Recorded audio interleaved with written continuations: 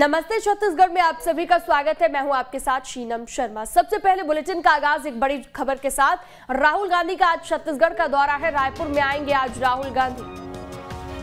रायपुर में सेवाग्राम का भी शिलान्यास उनकी ओर से किया जा रहा है। अमर जवान ज्योति की नींव भी यहाँ पर राहुल गांधी रखेंगे। और राजीव गांधी भूमिहीन मजदूर योजना का शुभारंभ भी उनकी ओर से किया जाएगा।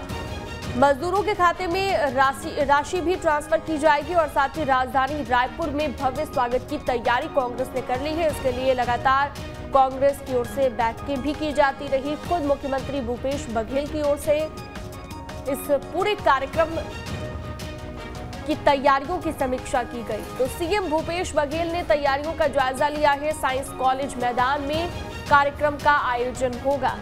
करीबन चार घंटे तक रायपुर में रहने का कार्यक्रम है राहुल गांधी का।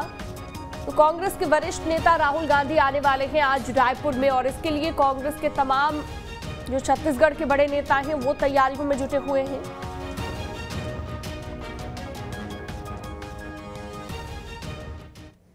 ऐतिहासिक है छत्तीसगढ़ के लिए और यहाँ के जो तीन साल में हमारी सरकार ने जो काम किया है, गरीबों को जो रोज़गार के अवसर उपलब्ध कराए हैं, किसानों के साथ जो न्याय किया है, हर हाथ को जो काम भी दिया गया है और रोज़गार के माध्यम से उनके खातों में राशि का हस्तांतरण जो किया गया है। वो उसका डेमो है, आदरणीय मुख्यमंत्री जी स्वयं निगरानी कर रहे हैं और हमारे सर्वोच्च नेता राहुल जी आ रहे हैं तो निश्चित रूप से हम सब के लिए सौभाग्य की बात है। करीब चार घंटे राहुल गांधी जी यहाँ पर रहने वाले हैं। कितना बड़ा दिन रहने वाला है छत्तीसगढ़? हमारे लिए तो ऐतिहासिक है। जो हमारे काम हुआ है, वो सारा प्रदर्शन हम अपने नेता के सामने करेंगे।